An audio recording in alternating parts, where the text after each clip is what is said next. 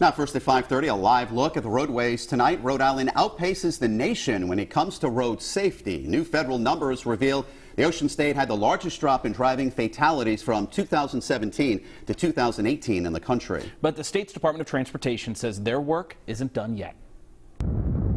How safe are Rhode Island roads? Recently, the Department of Transportation has launched several education campaigns aimed at saving lives. So even the ripple effect was to show that it doesn't just end with the fatal crash. You know, it continues, it ripples into everyone's lives. Tuesday, the National Highway Traffic Safety Administration released state by state data on fatal crashes from 2017 to 2018.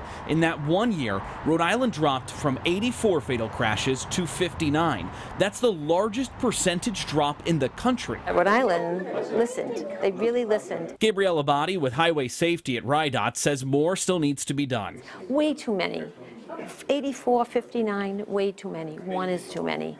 Um, so we know that we have a lot more work to do. Rhode Island also saw the nation's largest one year percentage drop in alcohol related driving deaths, down 41.2%. Across New England, every state saw a drop of some size, except New Hampshire, which had the highest one year increase in driving deaths in the country. Abadi said Rhode Island's decrease shows that RIDOT's 10 year plan to make roads safer is working. The only acceptable number is zero. Is it feasible? I have to believe it. It does.